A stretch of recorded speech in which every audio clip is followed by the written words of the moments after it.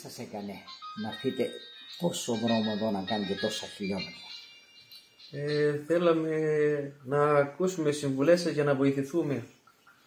Μα εσείς από ό,τι φαίνεται τα ξέρετε όλα.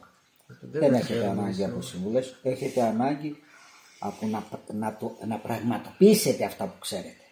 Εσείς τα ξέρετε, δεν υπάρχει κάτι που δεν γνωρίζετε. Άρα θέλει έργα και από εσάς και από μένα. Ε; Έτσι. Έτσι. Αυτό θα το πάρετε απόφαση να αυτά που γνωρίζετε να τα κάνετε πράξη.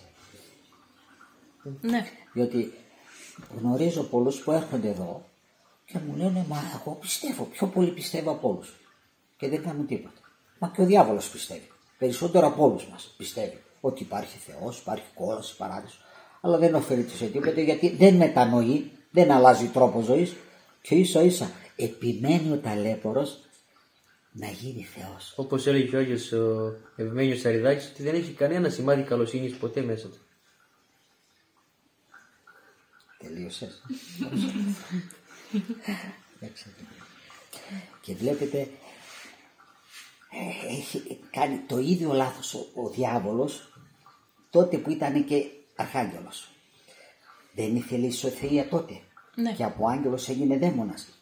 Το ίδιο και θέλει και σήμερα πιο έντονα και μάλιστα έκανε και εκκλησία ο ταλέπορος από ό,τι μου λένε στην εκκλησία και έχει οπαδούς, έχει εκκλησία.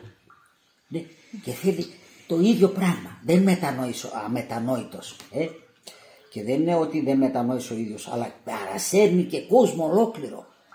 Μου δείξανε σε ένα βίντεο πώς προσκυνάνε τον διάβολο τον ίδιο εκεί στην Αμερική. Τους κάνουν τελετές, κάνουν μυστήρια. Ο ταλέπορος, ο αμετανόητος, επειδή ξέρει ότι είναι τα τελευταία του τώρα, όσους μπορεί και μαζεύει. Ε; έχει επιστρατεύσει όλα τα σύγχρονα όπλα που έχει στα χέρια του, τα μέσα μαζικής συσκότησης, την επιστήμη όλη την έχει μαζί του τώρα εκεί ε, και, και τα έχει βάλει. Δεν μπορεί να τα βάλει με το Θεό και τα βάζει με το δημιούργημα του Θεού. Ναι, φοβερό πράγμα. Αλλά εμείς τώρα πρέπει να αγωνιστούμε. Τώρα.